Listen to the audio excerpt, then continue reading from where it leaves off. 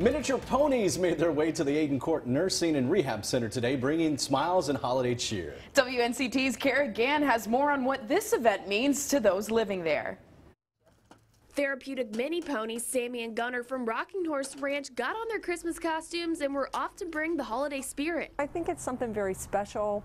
We know that being in the company of animals lowers people's blood pressure, lowers their pulse, um, and uplifts their mood. And for me, that is worth everything. And for residents at the nursing home, it means a lot too. To me, it means I'm not forgotten. Camille Hines has been living at the center since February. She says this event is very special for her because it helps her get into the Christmas spirit. It helps a whole lot.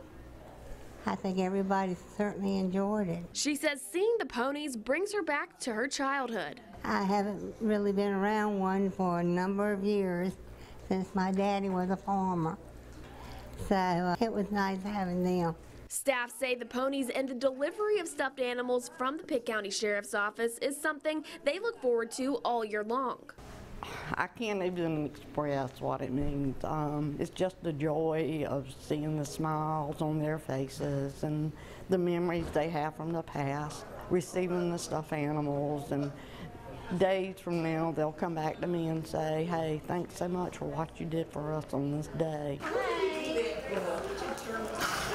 When we started looking into uh, miniature horses with the idea of being able to go out into our community and see people who couldn't see us, we were excited about the idea, but I don't think any of us could have foreseen how important it would become to the nursing homes we have relationships with. In Ayden, Kara Gann, 9 on your side.